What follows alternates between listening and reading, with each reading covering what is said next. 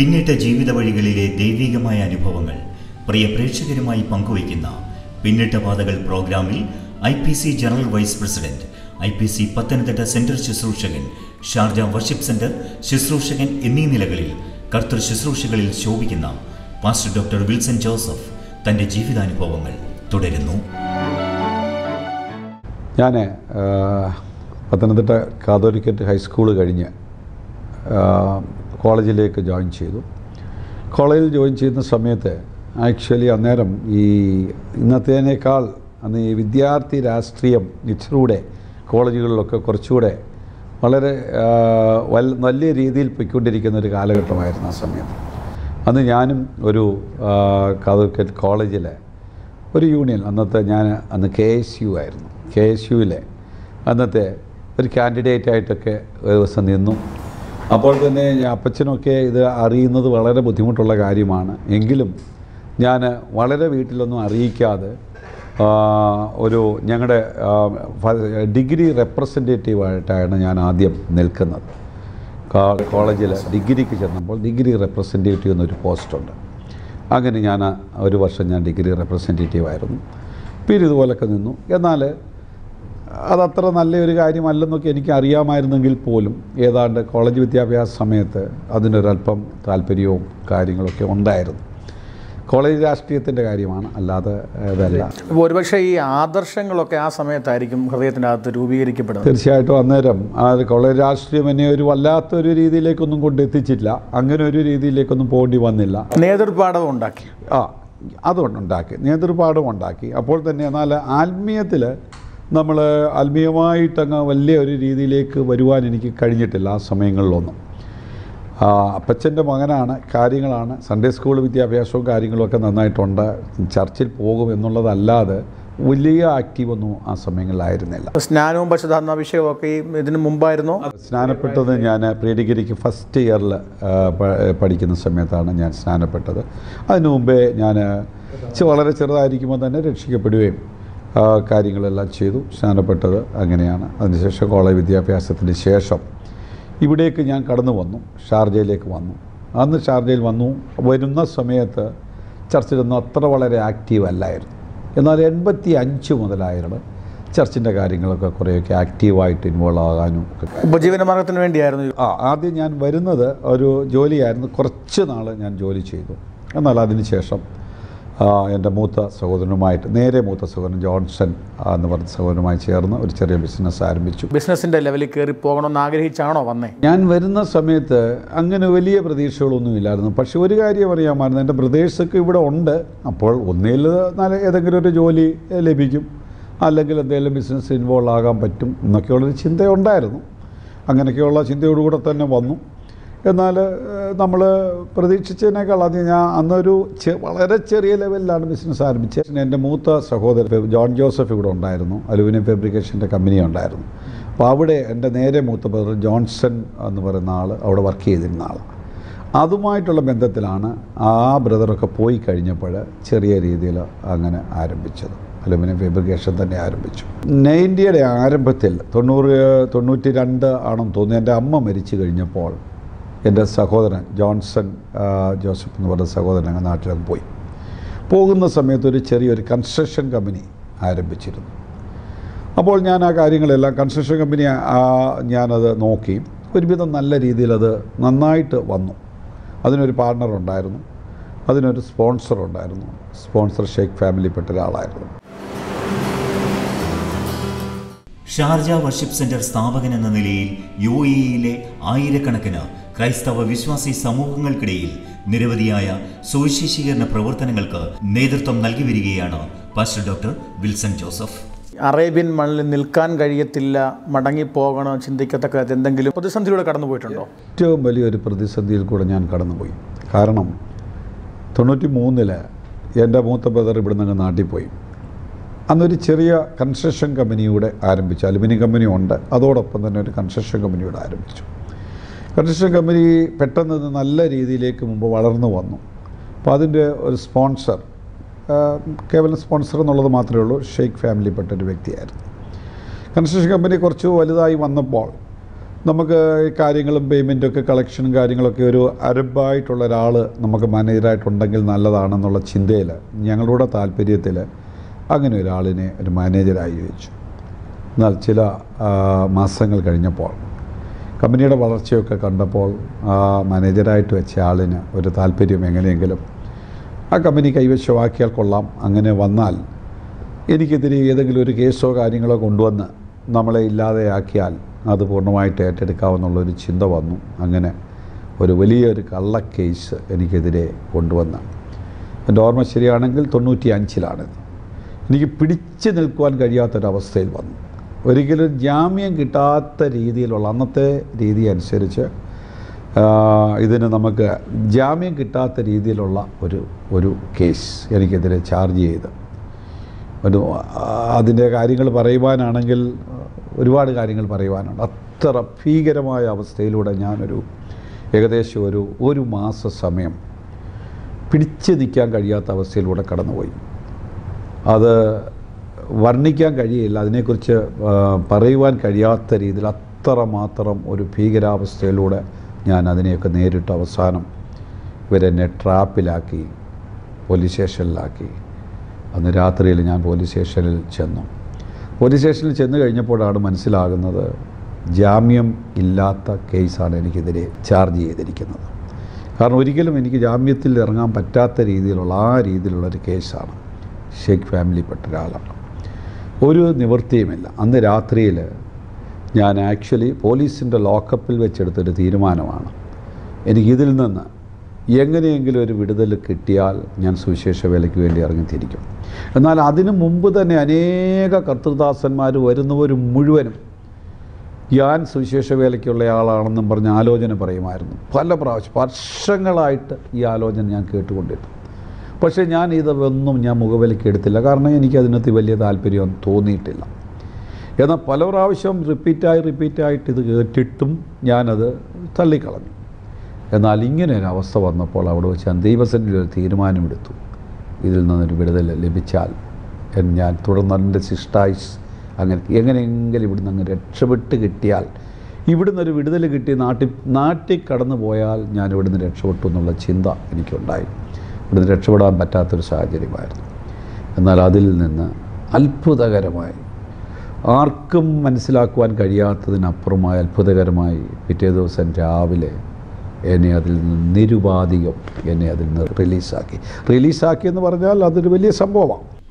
അവിചാരിതമായി ഉണ്ടായ കാരാഗ്രഹവാസത്തിനിടയിലെ ദൈവികമായ ഇടപെടലിനെ തുടർന്ന് പൂർണസമയ സുവിശേഷ വേലയ്ക്കായി സമർപ്പിച്ച പാസ്റ്റർ ഡോക്ടർ വിൽസൺ ജോസഫിന്റെ ജീവിതം ദൈവികമായ ഇടപെടലുകളുടെ ആകത്തുകയാണ്. ഈ പറയുന്ന ആളും എന്നെ അകത്താക്കിയ സ്പോൺസറും എല്ലാം കൂടെ വന്ന് ഒരു വലിയ ഒരു ഒരു ഒന്നര രണ്ട് മണിക്കൂർ നേരം പോലീസ് ഓഫീസേഴ്സ് മുഴുവനും കൂടിയുള്ള ഒരുമിച്ചുള്ള ഒരു മീറ്റിംഗ് ആയിരുന്നു. ആ മീറ്റിങ്ങിലേക്ക് ഞാൻ വിലങ്ങും വെച്ചുകൊണ്ടാണ് എന്നെ കൊണ്ട് കൊണ്ടുപോകുന്നത്. പക്ഷേ അവിടെ ചെന്നിട്ട് അത് മാറ്റി. അതുപോലെ എനിക്ക് വേണ്ടി വാദിക്കാൻ അന്നൊരാളുണ്ടായിരുന്നു. അവിടെ വന്നു. അങ്ങനെ സംഭവിച്ചു. എന്റെ സ്പോൺസർ തന്നെയാണ് ഇപ്പോഴത്തെ സ്പോൺസർ തന്നെയാണ്. എന്നാൽ ഇവരെ ഇങ്ങനെ കൂടാൻ ഉള്ള അവരെ പ്രേരിപ്പിച്ചൊരു കാര്യം ദുബൈയിലെ ഏറ്റവും വലിയ പോലീസ് ഓഫീസർ ഓഫീസർ ഇടപെട്ട് ഈ കാര്യങ്ങൾക്ക് ഏതാണ്ട് അദ്ദേഹത്തിന് ഹിൻഡ് കിട്ടി. ഇത് ശരിയായിട്ടുള്ള കേസല്ല കള്ള കേസാണെന്നുള്ളത് മനസ്സിലായി. അദ്ദേഹം പറഞ്ഞതനുസരിച്ചാണ് ഈ കാര്യങ്ങൾ ചെയ്തത്. അന്ന് ഈ പറയുന്ന വ്യക്തി അവിടെ വെച്ച് ആദ്യം അദ്ദേഹം പറഞ്ഞ് അദ്ദേഹത്തിന്റെയാണ് കമ്പനി അദ്ദേഹത്തിന് അവസാനം അവിടെ വെച്ച് സമ്മതിച്ചു. അദ്ദേഹം ഒരു പൈസ പോലും മുടക്കിയിട്ടുള്ള ആളല്ല കാര്യങ്ങളെല്ലാം ഏറ്റെടുത്ത് എന്റെ മുഴുവൻ ഉത്തരവാദിത്വം. അദ്ദേഹം പറഞ്ഞതനുസരിച്ച് എനിക്ക് വലിയ ബാധ്യത ഞാൻ വരുത്തി വെച്ചിരിക്കുകയാണ്. അദ്ദേഹത്തിന് വലിയ ലക്ഷങ്ങൾ ബാധ്യത വരുത്തി വെച്ചു. ആ ബാധ്യത എന്താണെങ്കിലും അത് ഞാൻ ഏറ്റെടുക്കാവുന്ന എന്റെ സ്പോൺസർ എത്ര മില്യൺ ആണെങ്കിലും ഞാൻ ഏറ്റെടുത്തോളാം എന്ന് പറഞ്ഞു അങ്ങനെ സ്പോൺസർ എന്റെ സ്പോൺസർക്ക് ഒരു പൈസ പോലും നഷ്ടപ്പെട്ടില്ല. അദ്ദേഹം ആ കമ്പനി ഏറ്റെടുത്തു. ഇന്നും ഹൈസ്റ്റാർ കൺസ്ട്രക്ഷൻ എന്ന് പറഞ്ഞ കമ്പനി ദുബായിലുണ്ട്. എന്റെ സ്പോൺസർ തന്നെയാണ് ഇന്നും അതിന്റെ പാർ. അന്ന് ആ കാരാഗ്രഹത്തിനകത്ത് ഒരു രാത്രി ഇരുന്നത് കൊണ്ടാണ് തീർച്ചയായിട്ടും തീർച്ചയായിട്ടും. ഞാൻ എപ്പോഴും പറയും. അന്നത്തെ എന്റെ ചിന്ത എങ്ങനെയെങ്കിലും ഇവിടുന്ന് രക്ഷപ്പെട്ട് നാട്ടിൽ ചെന്നാൽ എന്റെ ശിഷ്ടായുസ് മുഴുവനും സുവിശേഷ പ്രവർത്തനം എനിക്ക് എന്ത് സുവിശേഷ പ്രവർത്തനം ചെയ്യണമെന്ന് അറിയില്ല. സാമ്പത്തികമായിട്ട് യാതൊന്നുമില്ല ഒന്നുമില്ല. കംപ്ലീറ്റ് നിൽ സീറോ ആയിട്ടാണ് ഇവിടുന്ന് പോകുന്നത്. എങ്ങനെ സുവിശേഷ പ്രവർത്തനം ചെയ്യും? എന്ത് ചെയ്യും? എങ്ങനെ ചെയ്യും? ഒന്നും അറിയില്ല. കാരണം മുഴുവനും അന്ന് എന്റെ കോർണേഷ്യൽ മുനി എന്ന് പറയുന്ന കമ്പനി എന്റെ സ്പോൺസർക്ക് എഴുതി എഴുതി കൊടുത്തു. കൊടുത്തിട്ടാണ് പുള്ളി ആ ഉത്തരവാദിത്തം ഏറ്റെടുത്തത്. മുഴുവനും. നഷ്ടമാണേലും ലാഭമാണേലും എന്തുവാണെങ്കിലും ഞാൻ ചെയ്തോളാം. നീൽ സീറോ ആയിട്ടാണ് ഞാൻ ഇവിടുന്ന് നാട്ടിലേക്ക് പോകാൻ പ്ലാൻ ചെയ്തത്. എന്നാൽ അന്ന് നാട്ടിൽ നിന്നൊരു കർത്തദാസൻ ഭാഷ കെ എം ജോസഫ് അന്ന് ഇവിടെ ഇവിടെ ഉണ്ടായിരുന്നു ആ സമയത്ത്. എന്നോട് അദ്ദേഹം അഡ്വൈസ് ചെയ്തു നമ്മൾ ചെയ്യുന്നത് പോഷത്വമാണ് അങ്ങനെ ചെയ്യരുത്. ഏതായാലും പ്രശ്നം തീർന്നു. കുറച്ച് നാളുകൂടെങ്കിലും ഇവിടെ പിടിച്ചു നിൽക്കാൻ നോക്ക്. അപ്പോൾ തന്നെ ഒരു സ്പോൺസർ മിനിസ്റ്റർ എന്നുള്ള നിലയിൽ ഐ പി സി ഇപ്പോഴങ്ങനെ ഒരു കാര്യം ചെയ്യുന്നുണ്ട്. ഇവിടെ നിന്നുകൊണ്ട് തന്നെ ഏതെങ്കിലും സെന്റർ സ്പോൺസർ ചെയ്തുകൊണ്ട് ചെറിയ രീതിയിൽ മുമ്പോട്ട് പോവുക പിൽക്കാലത്ത് ദൈവം ആ രീതിയിൽ കൊണ്ടുവരുന്നു അത് ഏത് വർഷമാണ്? അത് നയന്റി ഫൈവ് ആണ് നയന്റി ഫൈവിലാണ് അപ്പം അങ്ങനെയാണ് ഐ പി സിയുടെ നേതൃത്വത്തിലേക്ക് കയറി വരുന്നത്. അങ്ങനെ ഞാൻ അന്ന് സ്പോൺസർ മിനിസ്റ്റർ ആകണമെങ്കിൽ ഇവാഞ്ചലിസ്റ്റ് ആകണം. ഓർഡിനേഷൻ ഉള്ളവർക്കേ പറ്റത്തുള്ളൂ. ഇതെല്ലാം മനസ്സിലാക്കി ഐ പി സിയുടെ നേതൃത്വം മനസ്സിലാക്കി ഞാൻ തൊണ്ണൂ ആയിരത്തി തൊള്ളായിരത്തി തൊണ്ണൂറ്റി ആറിലെ ജെ കുമ്മനാട് കൺവെൻഷന്റെ സമയത്ത് ഐ പി സിയിലെ ലീഡേഴ്സ് എല്ലാം ചേർന്ന് എന്നെ അന്ന് ഇവാഞ്ചലിസ്റ്റായിട്ട് എന്നെ അന്ന് ഓർഡൈൻ ചെയ്തു. അതിനുശേഷം ഞാൻ പിറവം എന്ന് പറയുന്ന ഒരു സെന്ററിലെ സ്പോൺസർ മിനിസ്റ്ററായി. ആ പിറവ സെന്ററാണ് ഇന്ന് ബാബുച്ചെറിയ ഭാഷയുടെ പിറവ സെന്റർ ആ സെന്റർ തന്നെയാണ്. I P C general vice president I P C Pathanamthitta central pastor Sharjah worship centre മുഖ്യ ശുശ്രൂഷകൻ എന്നീ നിലകളിൽ ദൈവികമായ ശുശ്രൂഷകളിൽ ശോഭിക്കുകയാണ് പാസ്റ്റർ ഡോക്ടർ വിൽസൺ ജോസഫ്. ഇപ്പം പിറവം സെന്ററിന്റെ സ്പോൺസേഡ് മിനിസ്റ്റർ സ്പോൺസർ മിനിസ്റ്ററായിട്ട് ആയിട്ട് ആണ് യഥാർത്ഥത്തിൽ ഇന്ത്യ ബന്ധക്കോസ് ദൈവസഭയുടെ നേതൃത്വത്തിലേക്ക് കയറി വരുന്നത്. യെസ് തീർച്ചയായിട്ടും അതെ. ആ, സമയത്ത് പിതാവ് പത്തനംതിട്ട സെൻട്രൽ പാസ്റ്റർ സെൻട്രൽ ശുശ്രൂഷകനായിരുന്നു അതെ അതെ. അതെ അദ്ദേഹത്തിന്റെ ആദർശം തീർച്ചയായിട്ടും ആ ഒറ്റ വാക്കിൽ നിന്ന് പ്രകടമാണ്. കാരണം സ്പോൺസർ മിനിസ്റ്ററായിട്ട് വെക്കാതെ തന്നെ വേണമെങ്കിൽ ഒരു പക്ഷേ അദ്ദേഹത്തിന്റെ ഇൻഫ്ലുവൻസ് കൊണ്ട് ദേവദാസിനെ നേതൃത്വത്തിലേക്ക് കൊണ്ടുവരാൻ കഴിയുമായിരുന്നു. അത് ചെയ്തില്ല. ഓക്കെ ദൈവം അനുഗ്രഹിക്കട്ടെ. അതിനുശേഷം ദേവദാസിന്റെ ശുശ്രൂഷയിൽ നേതൃത്വങ്ങളിലേക്കുള്ള രണ്ട് രണ്ട് വർഷം ഞാനവിടെ പിറവം സെന്ററിന്റെ സ്പോൺസർ മിനിസ്റ്ററായിട്ട് സേവനം അനുഷ്ഠിച്ചു. അപ്പോൾ തന്നെ അവിടുത്തെ എല്ലാ മാസയോഗങ്ങൾക്കും ഏറെക്കുറെ എല്ലാ മീറ്റിങ്ങുകൾക്കൊക്കെ പങ്കെടുക്കുകയും നാട്ടിൽ കടന്നു ചെല്ലുന്ന സമയത്തൊക്കെ അതുമായിട്ടുള്ള ബന്ധത്തിലൊക്കെ പോയി. അപ്പോൾ തന്നെ പത്തനംതിട്ട സെന്ററിലും പല അവസരങ്ങൾ എനിക്ക് ലഭിച്ചു. കൺവെൻഷനുകളിലും കാര്യങ്ങളിലും അല്പസമയങ്ങളും എല്ലാം ഷെയർ ചെയ്യാനൊക്കെ അവസരങ്ങൾ ലഭിച്ചു. അപ്പോൾ അങ്ങനെ ഇരിക്കുമ്പോൾ തന്നെ പല കൺവെൻഷനുകളിൽ പങ്ക് പ്രസംഗിക്കുവാനുള്ള അവസരങ്ങൾ. ഈ തൊണ്ണൂറ്റിയേഴ് തൊണ്ണൂറ്റിയെട്ട് വർഷങ്ങളിൽ ഭാരതപ്പുഴ കൺവെൻഷന്റെ അന്ന് ഒരു അന്നൊരു വലിയ നാട്ടിലെ ഒരു വലിയ കൺവെൻഷനാണ് ഭാരതപ്പുഴ കൺവെൻഷൻ ആ വർഷങ്ങളിൽ എല്ലാ വർഷവും തുടർമാനമായിട്ട് ഞാൻ ഭാരതപ്പുഴ ഭാരതപ്പുഴ കൺവെൻഷൻ തുടങ്ങി പല കൺവെൻഷനുകളിലും പ്രസംഗിക്കുമായിരുന്നു. അതിന്റെ പ്രത്യേക ഒരു പാഠം ആ സമയങ്ങളിൽ കർത്താവ് നൽകി. ഇങ്ങനെ ചെറിയൊരു രീതിയിൽ വന്നുവെങ്കിലും പെട്ടെന്ന് പെട്ടെന്ന് പല മീറ്റിങ്ങുകൾക്കും പല അവസരങ്ങളും ഒരുപാട് ലഭിച്ചു. ഐ പി സിയിൽ അനേക സെന്റർ കൺവെൻഷനുകളിൽ അവസരങ്ങൾ ലഭിക്കുന്നൊരു സാ ഒരു സമയമായിരുന്നു. വിൽസൺ വളരെയധികം പുകഴ്ചകൾ കേട്ടതിൽ ഒരു കാര്യമാണ്. മിഡിൽ ഈസ്റ്റിലാണെങ്കിലും നിൽക്കുന്ന സെന്ററിൽ ഇപ്പോഴും വളരെ ആക്റ്റീവാണ് എന്ന് കേൾക്കുന്നത്. വാസ്തവത്തിലൊരു കാര്യം പറയുന്നതിൽ എനിക്ക് സന്തോഷമുണ്ട്. എന്റെ ശുശ്രൂഷയിൽ എനിക്ക് ഏറ്റവും കൈത്താങ്ങലായി. അതുപോലെ തന്നെ പ്രാർത്ഥനയിൽ ഒരു വലിയ ഒരു ഒരു ഒരു കൈത്താങ്ങലായി നിൽക്കുകയാണ്. ഞാൻ പ്രാർത്ഥിക്കുന്നതിനെക്കാട്ടൊക്കെ വളരെ വളരെ വളരെ കൂടുതൽ മേഴ്സി പ്രാർത്ഥിക്കുവാറുണ്ട്. പ്രാർത്ഥനയ്ക്ക് വേണ്ടി സമയം കണ്ടെത്താറുണ്ട്. തീർച്ചയായിട്ടും ശുശ്രൂഷയുടെ വളർച്ചയുടെ ഏറ്റവും പ്രധാന പങ്ക് വഹിക്കുന്നത് എന്റെ ഭാര്യ മേഴ്സിയാണെന്ന് പറയുന്നതിൽ എനിക്ക് വളരെ സന്തോഷമുണ്ട്. യഥാർത്ഥത്തിൽ വാഗ്ദത്തിന്റെ കൂട്ടവകാശി തന്നെയാണ്. തീർച്ചയായിട്ടും തീർച്ചയായിട്ടും തീർച്ചയായും തന്നെയല്ല യു എയിലുള്ള സ്വാതന്ത്ര്യ സഹോദരി സമാജത്തിന്റെ അമരക്കാരിയും കൂടാണ് മേഴ്സിയാന്റി അത് മാത്രമല്ല മേഴ്സി കുറിച്ച് യു എയിൽ ഇപ്പം എനിക്കധികം പരിചയം യു എയുമായി ബന്ധപ്പെട്ടില്ല മൂന്ന് വർഷം നാല് വർഷമേ ആകുന്നുള്ളൂ പക്ഷേ ആന്റിയെക്കുറിച്ച് വളരെ ബഹുമാനത്തോടാണ് എല്ലാവരും സംസാരിക്കാറുള്ളത്. ഞാൻ ജനിച്ചു വളർന്നത് ഒരു പാസ്നയില്ല. എന്റെ അമ്മയും ഈ പറഞ്ഞതുപോലെ ഈ പ്രാർത്ഥനാ ജീവിതത്തിൽ ഞാൻ കണ്ടു വളർന്നതെല്ലാം ഈ മാതാക്കന്മാരുടെ കണ്ണുനീരുകളാണ്. പാസ്റ്ററും അല്പസമയങ്ങൾക്ക് മുമ്പ് പാസ്റ്ററുടെ മാതാവിന്റെ കാര്യം പറഞ്ഞപ്പോൾ വിതുമ്പാനിടയായി. ഒരു ലീഡറായിരിക്കുന്നൊരു ദേവദാസൻ ഒന്ന് വിതുമ്പണമെങ്കിൽ ആ അമ്മ എത്രത്തോളം ദേവദാസന്റെ ജീവിതത്തിൽ മാറ്റം കൊണ്ടുവന്നിരിക്കണം എന്നെനിക്ക് ഊഹിക്കാവുന്നതാണ്. ഈ റിബേക്ക ഇസഹാക്കിന്റെ അടുക്കിലേക്ക് വരുമ്പോൾ ഒരു പദമുണ്ട് അവന്റെ അമ്മ മരിച്ചപ്പോൾ ഉണ്ടായ ഒരു ഒരു വലിയൊരു വിടവ്. അത് നികത്തിയത് റിബേക്ക വരുമ്പോഴാണ് ഇസലോ അപ്പോൾ ആന്റിയാണ് ഇപ്പോൾ ആ വിടവ് നികത്തി ദേവദാസിന്റെ കൂടെ നിൽക്കുന്നത്. ഇംഗ്ലീഷുകാർ ബെറ്റർ ഹാഫ് എന്നാണ് ഇതിനെ വിളിക്കുന്നത്. ബെറ്റർ ഹാഫ് എന്ന് പറഞ്ഞാൽ ആ പകുതി ഇല്ലെങ്കിൽ ഈ പകുതി ഇല്ല. ദൈവം തനിക്ക് നൽകിയ ദർശനങ്ങൾക്കനുസരിച്ച് നിരവധിയായ സുവിശേഷീകരണ പ്രവർത്തനങ്ങൾക്ക് നേതൃത്വം നൽകി ദൈവിക ശുശ്രൂഷകൾ തുടരുകയാണ് pastor doctor Wilson Joseph. I P C worship centre അതിന്റെ പ്രാരംഭ സമയം ഒന്നും അതിനെക്കുറിച്ചൊന്ന് പറയാം ഞാൻ ഷാർജ ഐ പി സിയുടെ ഇന്ന് I P Sharjah I P C എന്നും പറഞ്ഞുള്ള ചർച്ചാണ് ഐ പി സിയുടെ ഷാർജയിലെ ആരംഭ ചർച്ച. അവിടുത്തെ ആരംഭത്തിലുള്ള മെമ്പറാണ് ഞാൻ. അവിടുത്തെ ആ പ്രവർത്തനം കൊണ്ട് ഞാൻ സാറ്റിസ്ഫൈഡ് ആയിരുന്നില്ല. അന്ന് ക്യാമ്പുകളിലൊക്കെ ധാരാളം ആൾക്കാർ ഉള്ള ഒരു സമയം. അപ്പോൾ ക്യാമ്പുകളിലൊക്കെ കുറേ കൂടെ പ്രവർത്തിക്കാനും പോകാനും കാര്യങ്ങളും അപ്പോൾ അതിന് അവിടെ നിന്നുകൊണ്ട് അതിനകത്ത് നമുക്ക് വേണ്ട പോലെ രീതിയിൽ ചെയ്യാൻ പറ്റത്തില്ല. അങ്ങനെ വന്നപ്പോൾ അതിലൊരു പുതിയ പ്രവർത്തനം തുടങ്ങണം എന്നുള്ളൊരാഗ്രഹം വന്നു. ആഗ്രഹം എന്ന് വെച്ചാൽ ഒരു ദൈവപ്രേരണ തന്നെ വന്നു. പല പ്രാവശ്യം ദൈവം എന്നെ ദർശനം കാണിച്ചു അതിലൂടെ. അപ്പോൾ ഞാൻ അതിലേക്ക് ഇറങ്ങി തിരിച്ചു. പക്ഷേ ആ സമയത്ത് ഒരു വലിയ ഒരു രോഗം എന്നെ പിടിച്ചു. വോക്കൽ കോഡിന് ഒരു വലിയ പ്രയാസമുണ്ടായി. അപ്പോൾ വോക്കൽ കോഡിന്റെ ഒരു പ്രയാസമുണ്ടായി. ഷാർജയിൽ അൽസാറ ഹോസ്പിറ്റലിൽ വെച്ചൊരു ചെറിയ ആരോ സർജറി നടത്തി. വീണ്ടും അത് റിപ്പീറ്റായി. വീണ്ടും ഞാൻ വെല്ലൂർ പോയി. വെല്ലൂർ മെഡിക്കൽ കോളേജിൽ പോയി വീണ്ടും ഒരു സർജറി നടത്തി. ഇതൊക്കെ വന്നു കഴിഞ്ഞപ്പോൾ പലപ്പോഴും എന്നെ പിന്തിരിപ്പിക്കുവാൻ എന്നെ പുതിയൊരു പ്രവർത്തനം തുടങ്ങുന്നു. അതിനെതിരായിട്ടുള്ള ഒരു പ്രവർത്തനമാണ് ഒരു കാരണവശാൽ ഇത് ചെയ്യരുതെന്നും പറഞ്ഞ് അനേക ആൾക്കാർ എന്നെ അതിൽ നിന്ന് പുറകോട്ട് വലിച്ചു. പക്ഷേ ദൈവം എന്നെ ദർശനത്തിൽ കൂടെ മാത്രം ആ ദിവസങ്ങളിൽ നടത്തി. ദൈവം വ്യക്തമായിട്ട് എന്നെ ദർശനം കാണിച്ചു.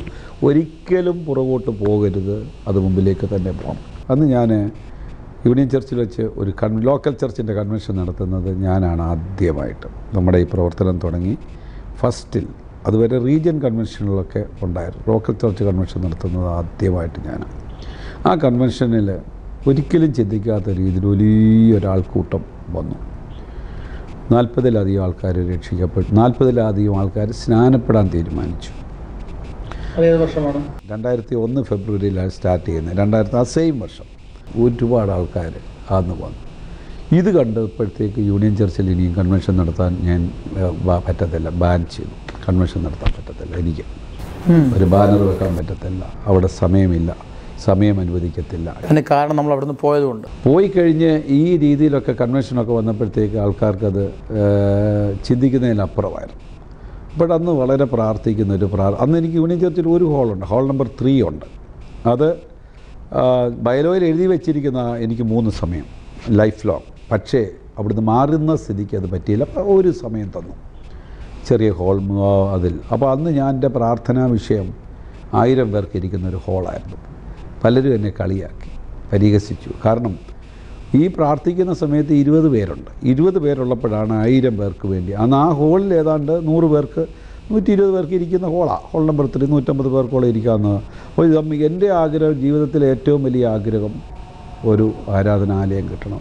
ഫ്രീഡം സ്വാതന്ത്ര്യത്തോടെ കൺവെൻഷനൊക്കെ നടത്താൻ പറ്റുന്ന ഒരു ആരാധനാലയം എന്റെ ജീവിതത്തിലെ ഏറ്റവും വലിയ ഒരു പ്രാർത്ഥന അതായിരുന്നു. ഞാൻ പറയട്ടെ ചില നാളുകൾ കഴിഞ്ഞപ്പോൾ. ഞാൻ എന്റെ എന്റെ സഹോദരൻ ബ്രദർ എന്ന് മൈനോറിറ്റി കമ്മീഷൻ മെമ്പറായി രണ്ടാമത്തെ ടീമിൽ നിൽക്കുമ്പോഴാണ്.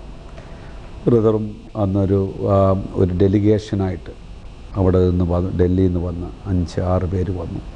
ഞാൻ എന്റെ ഒരു വളരെ പരിചയക്കാരനായിരുന്നു റൂളേഴ്സ് ഓഫീസിലെ അന്നത്തെ പ്രോട്ടോകോൾ ഡയറക്ടർ അപ്പോയിൻമെന്റ് എടുത്തു.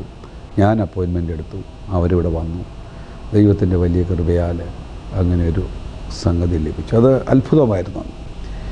എന്റെ ജീവിതത്തിലെ ഏറ്റവും വലിയ സന്തോഷത്തിന്റെ സമയതാണെന്ന് ചോദിച്ചാൽ ഈ ചർച്ചിന് സ്ഥലം കിട്ടിയെന്ന് അറിയുന്ന ദിവസമാണ് എന്റെ ലൈഫിലെ ഏറ്റവും സന്തോഷിച്ച ദിവസം. അതുപോലുള്ള ഒരു സാഹചര്യത്തിലൂടെയായിരുന്നു അന്ന് പോയത്. അത്ഭുതകരമായിട്ടാണ് അത് ലഭിച്ചത്. പ്രതീക്ഷ ഒരു പ്രതീക്ഷ. ഞാൻ അതെല്ലാം എന്നെ ദർശനം കർത്താവ് കാണിച്ചായിരുന്നു. അതിന് ചില നാളുകൾക്ക് മുമ്പ് കർത്താവിനെ ദർശനം കാണിച്ചു. കൺസൾട്ടൻസും എല്ലാം കൂടി ഇരുന്ന് കോൺട്രാക്റ്റ് സൈൻ ചെയ്യുന്നു പക്ഷേ ഒരു സാധ്യതയില്ല. ഒരു സാധ്യതയില്ലാത്ത സ്ഥാനത്താണ് ചെയ്തത്. പക്ഷേ അതെന്റെ ജീവിതത്തിലെ ഒരു വഴിത്തിരിവായിരുന്നു.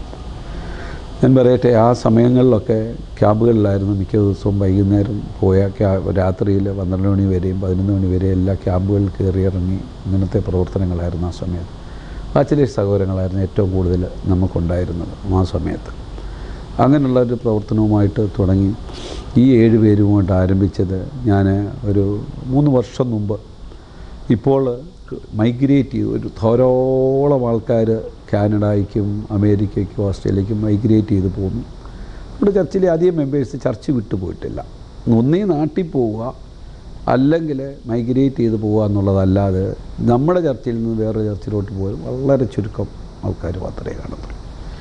ഏതാണ്ട് അറുന്നൂറ്റൻപതിലധികം ആൾക്കാർ വരെ നമ്മുടെ ആരാധനയ്ക്ക് വന്നിട്ടുണ്ട്. സാധാരണ സാധാരണ വാച്ചിനേറ്റ് സർവീസിനാണ് ഏറ്റവും കൂടുതൽ ആൾ വരുന്നത് അതിന്റെ കണക്കാണ്. അറുന്നൂറ്റൻപതിലധികം ആൾക്കാർ എനിക്ക് തോന്നുന്നത് ഒരു രണ്ട് മൂന്ന് വർഷം കഴിഞ്ഞ രണ്ട് വർഷം മുമ്പ് വരെ അങ്ങനെ വന്നു. എന്നാൽ സാധാരണ ഒരു ആരാധനയ്ക്ക് നാനൂറ് പേര് കൂടുതലുണ്ട്. കാരണം രാവിലെ ഒരു ആരാധനയുണ്ട്. അതുകൊണ്ട് രണ്ട് ആരാധനയായതുകൊണ്ട് വൈകിട്ടത്തെയാണ് മെയിൻ ആരാധന. നാനൂറിലധികം ആൾക്കാരുണ്ട്. സൺഡേ സ്കൂളിന് തന്നെ ഏതാണ്ട് ഇരുന്നൂറിലധികം കുഞ്ഞുങ്ങളുണ്ട്. യു എയിലെ ഏറ്റവും അനുഗ്രഹിക്കപ്പെട്ട എന്റെ ജീവിതത്തിലെ ആഗ്രഹമായിരുന്നു ആയിരം പേർക്ക് ഇരിക്കുന്ന ഹോൾ ദൈവം തന്നപ്പോൾ ആയിരത്തി അഞ്ഞൂറ് പേർക്ക് ഇരിക്കുന്ന ഹോളാണ് ദൈവം തന്നത്. തീർച്ചയായിട്ടും അതൊരു വലിയ ബ്ലെസ്സിങ് ആയിരുന്നു. കുഞ്ഞുങ്ങളൊക്കെ എന്തോ പഠിച്ചു ഇപ്പോൾ എന്തോ പ്രായമുണ്ട്. കുഞ്ഞുങ്ങൾ മൂത്ത മോന് അവൻ ഓസ്ട്രേലിയയിലാണ് പഠിച്ചത്. അവന് രണ്ട് സബ്ജക്റ്റിന് മാസ്റ്റേഴ്സ് എടുത്ത മോനാണ്. എന്നാൽ അതിനുശേഷം അവന് ഓസ്ട്രേലിയ സിറ്റിസൺ ഉള്ള ആളാണ്. എന്നാൽ തിരിച്ച് വിൽസാന ബിസിനസ്സിനുള്ള ബന്ധത്തിൽ നിൽക്കാൻ പറ്റാത്ത സാഹചര്യം കാര്യം ശുശ്രൂഷയുള്ള ബന്ധത്തിന് ശേഷം അതിൽ നിന്ന് കംപ്ലീറ്റ് ആയിട്ട് മാറി. പിന്നെ കുഞ്ഞുങ്ങളത് നോക്കാൻ വേണ്ടി മോനെ അവനെ തിരിച്ചിവിടെ വന്നു. വന്നുവെങ്കിലും അവനെ ഒരു ശുശ്രൂഷ കോളിംഗ് ഉള്ളൊരു മോനാണ്. അവനെ ഓസ്ട്രേലിയയിലായിരുന്നപ്പോൾ ഒരു വൺ ഇയർ അവനെ ഇന്റേൺഷിപ്പ് ഒരു ചർച്ച ചെയ്തു. അപ്പോൾ ആ കോളിംഗ് ഉണ്ടായിരുന്നു. അപ്പോൾ അതപ്പോഴും എപ്പോഴും അവന്റെ ഉള്ളിൽ അതുണ്ട്. അതുകൊണ്ട് ബിസിനസ് സംബന്ധമായ കാര്യങ്ങളിൽ അവന് മുൻപോട്ട് പോകാൻ കഴിഞ്ഞിട്ടില്ല. അതുകൊണ്ട് അവന് കാനഡയ്ക്ക് മൈഗ്രേറ്റ് ചെയ്തു. അവിടെ ഒരു ബൈബിൾ കോളേജിൽ ഒരു യൂണിവേഴ്സിറ്റിയിൽ അവന് പഠിച്ചുകൊണ്ടിരിക്കുകയാണ് ബൈബിൾ കോളേജിൽ മോന്റെ പേര് ജോയ് അല്ലേ? മോന്റെ പേര് ജോയാണ്. അവന് വിവാഹിതനാണ് ഒരു കുഞ്ഞുണ്ട്. അടുത്ത കുഞ്ഞിനെ ദിവസങ്ങൾ ഈ ആഴ്ച തന്നെ എക്സ്പെക്ട് ചെയ്യുന്നുണ്ട്. ഓക്കെ ഇപ്പം കൊറോണ ആയതുകൊണ്ട് അങ്ങോട്ട് പോകാനുള്ള സാഹചര്യങ്ങൾ പോയി ഞാൻ പോരുന്ന ഇപ്പം പോയിട്ട് തിരിച്ചു വന്നതേ ഉള്ളൂ. മോന്റെ വൈഫിന്റെ പേരൻസ് അവിടെ ഉണ്ട്. ശുശ്രൂഷയിലേക്ക് മോന്. ആ, മോന് അവന് അങ്ങനെ ഒരു കോളിംഗ് ഉണ്ട്. അപ്പോൾ അതുകൊണ്ട് അവന് അതിനായിട്ട് ദൈവം അവനെ തിരഞ്ഞെടുത്തു. ആ ഒരു കോളിംഗ് ഉള്ളതുകൊണ്ട് അവൻ ഇവിടുന്ന് തന്നെ കോളേജിൽ അഡ്മിഷൻ എടുത്തതിന് ശേഷമാണ് അതൊരു വലിയ അച്ചീവ്മെന്റാണ് മാതാപിതാക്കളെന്ന നിലയിൽ? ജീവിതത്തിലെ ഏറ്റവും വലിയ സന്തോഷം ആ മോനെക്കുറിച്ച് ഓർക്കും. രണ്ടാമത്തെ മകന്? രണ്ടാമത്തെ മോന് അവൻ ആക്ച്വലി ഡോക്ടറാണ് അവന്റെ വൈഫും ഡോക്ടറാണ് എന്നാൽ അവന് ആ ഒരു ഫീൽഡ് വിട്ടാണ് ഇപ്പം വർക്ക് ചെയ്യുന്നത്. ഇവിടുന്ന് പോയതിന് ശേഷം അവന് വേറെ ഒരു ഫീൽഡിൽ വർക്ക് ചെയ്യുന്നു. വൈഫുണ്ട് അവർക്ക് രണ്ട് മക്കളുണ്ട്. അവരും ആത്മീയമായിട്ട് അനുഗ്രഹിക്കപ്പെട്ട കുഞ്ഞുങ്ങളായിട്ട് ഇരിക്കുന്നു. പൂർണസമയം സുവിശേഷ വേലയ്ക്കായിട്ടല്ല എങ്കിലും അവർക്ക് കിട്ടുന്ന സമയങ്ങൾ ആത്മീയ കാര്യങ്ങളിൽ അവർ കൂട്ടാളികളാണ് കുഞ്ഞുങ്ങൾ രണ്ടുപേരും. മൂന്നാമത് മകളാണ്. അതായത് മോളാണ്. മോളും അവിടെ ഹസ്ബൻഡ് ഒരു അവർക്ക് ഒരു കുഞ്ഞുണ്ട് ഇപ്പോൾ മോളും ഡോക്ടറാണ്. അവിടെ ചെന്ന അതിന് തുടരുന്നില്ല. ആ മോൾ പാടും നല്ലതായിട്ട് മോളുടെ ഹസ്ബൻഡും അവർ രണ്ടുപേരും പാട്ടിൽ ചർച്ചിൽ അവരുടെ ചർച്ച അവർ പോകുന്ന ചർച്ചിൽ വർഷിപ്പ് ലീഡ് ചെയ്യും ലീഡ് ചെയ്യുന്നവർ അതൊരു അതും വളരെ സന്തോഷമാണ്. അതൊരു വലിയ അച്ചീവ്മെന്റാണ് മൂന്ന് തലമുറകളെ ദൈവസേന നിർത്താൻ കഴിയുക എന്ന് പറയുന്നത്. ആത്മീയമായിട്ട് കുഞ്ഞുങ്ങൾ വളരെ അനുഗ്രഹിക്കപ്പെട്ട അവർ പോകുന്ന ചർച്ചിൽ മൂന്ന് കുഞ്ഞുങ്ങളും കുടുംബമായിട്ട് അനുഗ്രഹിക്കപ്പെട്ട രീതിയിൽ അവരെ കൊണ്ടാകുന്ന രീതിയിൽ ശുശ്രൂഷയിൽ അവർ ഭാഗമാക്കാവുന്നുണ്ട് അത് വലിയ സന്തോഷമാണ് ഞങ്ങളുടെ ജീവിതത്തിലെ. ഈ വിശ്വാസ ആന്റി ഈ കാര്യം പറഞ്ഞപ്പോൾ ഇപ്പോൾ കുഞ്ഞുങ്ങൾ മൂന്ന് പേരും കാനഡയിലാണ് ഇപ്പം ഇവിടെ യു എയിൽ മാത്രമല്ല എല്ലായിടങ്ങളിലും ഇങ്ങനെ ഒരു ചെറിയ സംസാരമുള്ളത്. യു എയിലെ എല്ലാം ഡിസ്പേസ് ചെയ്ത് ദേവദാസനും കാനഡയിലേക്ക് മൈഗ്രേറ്റ് ചെയ്യാനുള്ള പദ്ധതിയിലാണ് എന്നിങ്ങനെ കേൾക്കുന്നു. എന്താ അതിനകത്ത് വാസ്തവം? തൽക്കാലം അങ്ങനെ ഒരു ചിന്തയില്ല. കാരണം ഷാർജയിലെ സാമാന്യം നല്ലൊരു ചർച്ച അനുഗ്രഹിക്കപ്പെട്ടൊരു ചർച്ച ദൈവം തന്നിട്ടുണ്ട്. മാത്രമല്ല ഐ പി സിയുടെ നേതൃത്വത്തിൽ ഇപ്പോൾ നിൽക്കുമ്പോൾ കൂടുതലും നാടുമായിട്ട് കേരളവുമായിട്ടുള്ള ബന്ധത്തിലാണ് നമ്മുടെ ഐ പി സി എന്ന് പറയുമ്പോൾ അതിന്റെ ഹെഡ് ഓഫീസൊക്കെ കേരളത്തിൽ തന്നെയാണ്. ഇന്നത്തെ സാഹചര്യത്തിൽ അങ്ങനൊരു ചിന്ത ഇതുവരെ വന്നിട്ടില്ല. പിന്നെ ഫ്യൂച്ചറിനെ കുറിച്ച് നമുക്ക് അറിയില്ല. ദൈവത്തിന്റെ ദൈവത്തിന്റെ ഇത് എന്താണ്? എന്തായാലും മൂന്ന് കുഞ്ഞുങ്ങൾ അവിടെ ആയതുകൊണ്ട് പ്രതീക്ഷിക്കാം. തൽക്കാലം ഏതായാലും നമുക്ക് അങ്ങനെ ഒരു ചിന്തയിൽ വന്നിട്ടില്ല. പിന്നെ ദൈവം നടത്തുന്നത് പോലെ തന്നെ പല കാര്യങ്ങൾ ആരംഭത്തിൽ നമ്മുടെ സ്വന്തം ഇഷ്ടത്തിലൊക്കെ പല കാര്യങ്ങൾ ചെയ്തു. അത് പലതും പരാജയത്തിൽ വന്ന് ഭവിച്ചിട്ടുണ്ട്. എന്നാൽ ഇപ്പം നമ്മൾ പ്രാർത്ഥിക്കുന്നത് ദൈവത്തിന്റെ ഹിതം എന്താണ്? അത് മാത്രം നിറവേറണം. അപ്പോൾ ദൈവത്തിന്റെ ഹിതത്തിന് വേണ്ടി ഈ വിഷയവും വെച്ചിരിക്കുകയാണ് ദൈവഹിത പ്രകാരം. ഇപ്പോൾ ദൈവസഭയുടെ ജനറൽ വൈസ് പ്രസിഡന്റായിട്ടാണ് നിൽക്കുന്നത്. ഞങ്ങൾക്ക് ഞങ്ങൾക്കുടൻ പ്രതീക്ഷിക്കാമോ ഒരു പ്രസിഡന്റായി ദൈവസഭയുടെ അമരത്തിലേക്ക്? ഞാൻ ആഗ്രഹിക്കുന്ന ഒരു കാര്യം ദൈവഹിതമാണെങ്കിൽ മാത്രം അങ്ങനെയുള്ള ഒരു കാര്യത്തെക്കുറിച്ച് ദൈവത്തിന്റെ ഹിതമാണെങ്കിൽ ഒരു കാര്യം ഞാൻ തുറന്ന് പറയാം എന്റെ വൈഫിനെ അടുത്തിരുത്തിക്കൊണ്ട് പറയുകയാണ് വൈഫിന് ഇങ്ങനെയുള്ള കാര്യങ്ങൾക്ക് താല്പര്യം വലിയ താല്പര്യമില്ല. കാരണം ഞാൻ വൈസ് പ്രസിഡന്റ് ആകുന്ന കാര്യങ്ങളിലും ഇങ്ങനെ ഒരു സംഗതികളിലും ഒട്ടും താല്പര്യമില്ല. എന്നാൽ പ്രാർത്ഥിക്കും കാര്യങ്ങൾ പോകും ദൈവഹിത പ്രകാരം നടക്കട്ടെ. എന്റെ ഒരു കാര്യം പറഞ്ഞു കഴിഞ്ഞാൽ ഞാൻ പ്രതീക്ഷിക്കാത്ത രീതിയിലാണ് ദൈവം എന്നെ കൊണ്ടുവന്നത് മുഴുവൻ. ഒരിക്കലും പ്രതീക്ഷിക്കാത്ത സ്ഥാനത്താണ്. ഞങ്ങളുടെ അറിയാം ഐ പി സിയുടെയൊക്കെ എലക്ഷൻ നടക്കുമ്പോൾ അത് ഒരു അസാധാരണമായിട്ടുള്ള രീതിയിലുള്ള രീതിയിലുള്ള ഇലക്ഷനാണ് അത് നടക്കുന്നത്. എനിക്ക് ഞാൻ ഇലക്ഷൻ ഇന്ന് വരെ ഐ പി സി നിന്നിട്ടുള്ളതിൽ ഏറ്റവും കൂടുതൽ എനിക്ക് എനിക്ക് തന്നെ അറിയില്ല. അത് അത് ഞാൻ ആദ്യം കൗൺസിൽ മെമ്പറായിട്ട് നിൽക്കുന്ന കാലം മുതൽ ഇന്ന് വരെ കഴിഞ്ഞ പ്രാവശ്യം വരെ ഏറ്റവും അധികമായിട്ട് ജനം എന്നെ സപ്പോർട്ട് ചെയ്യാറുണ്ടായിരുന്നു. അത് ആർക്കും മനസ്സിലാക്കുവാൻ കഴിയുന്നതിലപ്പുറമായിരുന്നു അതിന്റെ ആ ഒരു ജന പൊതുജനത്തിന്റെ ഒരു സപ്പോർട്ട് എനിക്ക് ലഭിച്ചിട്ടുള്ളത് ഇതുവരെ. അതുകൊണ്ട് ദൈവത്തിന്റെ ഹിതമാണെങ്കിൽ അങ്ങനെയുള്ള സാഹചര്യം ദൈവം എന്തെങ്കിലും ഒരുക്കിയാൽ അത് ഇല്ലെന്ന് ഞാൻ പറയത്തില്ല. എനിക്ക് താല്പര്യം ഇല്ലെന്ന് ഞാൻ പറയത്തില്ല. ദൈവഹിതമാണെങ്കിൽ ആ കാര്യങ്ങൾ നടക്കും. ക്രിസ്ത്യൻ ലൈവിന്റെ പ്രവർത്തനങ്ങളെ ഞാൻ പലപ്പോഴും കേട്ടിട്ടുണ്ട്. കേൾക്കുക മാത്രമല്ല കുമ്പനാട് കൺവെൻഷൻ കഴിഞ്ഞ വർഷത്തെ കുമ്പനാട് കൺവെൻഷന് അവർ വളരെ ആക്റ്റീവായിട്ട് ആരംഭ ദിവസം മുതൽ അവസാന ദിവസം വരെ ഈ പ്രിയപ്പെട്ടവരവിടെ ഉണ്ടായിരുന്നു. അത് ലോകത്തെ മുഴുവനും അത് അറിയിക്കുന്നതിൽ പ്രധാനപ്പെട്ട പങ്ക് വഹിച്ച ഒരു ചാനലായിരുന്നു ക്രിസ്ത്യൻ ലൈവ് എന്ന് പറയുന്നതിൽ എനിക്ക് വളരെ സന്തോഷമുണ്ട്. വാസ്തവത്തിൽ അതിന്റെ പ്രവർത്തകരെ ഓർത്ത് ഞാൻ ദൈവത്തെ സ്തുതിക്കുന്നു. അവർ ചെയ്യുന്ന പ്രവർത്തനങ്ങൾക്ക് സർവശക്തനാകുന്ന ദൈവം പ്രതിഫലം തരട്ടെ. വാസ്തവത്തിൽ ഞാൻ പലപ്പോഴും ചിന്തിക്കാറുണ്ട് ഈ സുവിശേഷം അവിടെ പ്രസംഗിക്കുന്ന സുവിശേഷം ലോകം മുഴുവനും അറിയിക്കുമ്പോൾ അത് എത്ര പേരാണ് ആ സുവിശേഷം കേൾക്കുന്നത്? എത്ര പേരാണ്? അതിൽ ചിലരെങ്കിലും അത് അവരുടെ ജീവിതത്തിൽ ഒരു വലിയ ഉത്തേജനം ഉണ്ടാക്കുന്നുണ്ട് എന്ന് ഞാൻ പൂർണമായിട്ട് വിശ്വസിക്കുന്നു. ഈ പ്രവർത്തനത്തെ ദൈവം അനുഗ്രഹിക്കട്ടെ. പ്രത്യേകാൽ ഈ അവസരത്തിൽ ഇന്ത്യ പെന്തക്കോസ് ദൈവസഭയുടെ നാമത്തിലുള്ള എല്ലാ ആശംസകളും പ്രിയപ്പെട്ടവരെ ഞാൻ അറിയിക്കുന്നു. ക്രിസ്ത്യൻ ലൈഫ് ഏറ്റവും അനുഗ്രഹിക്കപ്പെടുവാൻ ഒരു വലിയ ദൈവകൃപ അതിൽ വ്യാപരിക്കുവാൻ തുടർന്ന് നമുക്ക് പിടിച്ചാൽ കിട്ടാത്ത രീതിയിൽ അത് വളരുവാൻ സർവശക്തനാകുന്ന ദൈവം കൃപ ചെയ്യട്ടെ എന്ന് ആത്മാർത്ഥമായി പ്രാർത്ഥിക്കുന്നു. ഈ തിരക്കുള്ള സമയത്തും ക്രിസ്ത്യൻ ലൈവിന് വേണ്ടി സമയം ചിലവഴിച്ച് ഞങ്ങളുടെ ആ ഹൃദയം തുറന്നതിന് വിശേഷാൽ ക്രിസ്ത്യൻ ലൈവിന് വേണ്ടി ഞാൻ നന്ദി പറയുന്നു. ദൈവം എല്ലാവിധ ഭാവങ്ങളും ദൈവാസ് നൽകട്ടെ. ആശാര്യോപദേശിയുടെ പ്രശസ്തമായ പ്രവചനം പോലെ പിതാവിനേക്കാൾ ഒരു മടങ്ങ് ഒരു പടി മുകളിൽ കർത്താവ് ദേവദാസനെ ഉപയോഗിക്കട്ടെ എന്ന് ആത്മാർത്ഥമായി ഞാൻ പ്രാർത്ഥിക്കുന്നു. ദൈവികമായ ദർശനങ്ങളുടെ പിൻബലത്തിൽ നിരവധിയായ സുവിശേഷീകരണ പ്രവർത്തനങ്ങൾക്ക് നേതൃത്വം നൽകിക്കൊണ്ട് ഇന്ത്യ പെന്തക്കോസ് ദൈവസഭ general vice president reverend doctor pastor Wilson Joseph തന്റെ ജീവിതം തുടരുകയാണ്. സുവിശേഷത്തിനു വേണ്ടി ദൈവത്തിനു വേണ്ടി. പാസ്റ്റർ ഡോക്ടർ വിൽസൺ ജോസഫിന്റെ ദൈവികമായ അനുഭവങ്ങൾ പങ്കുവച്ചുകൊണ്ടുള്ള പിന്നിട്ട പാതകൾ പ്രോഗ്രാം ഇവിടെ പൂർണമാകുന്നു.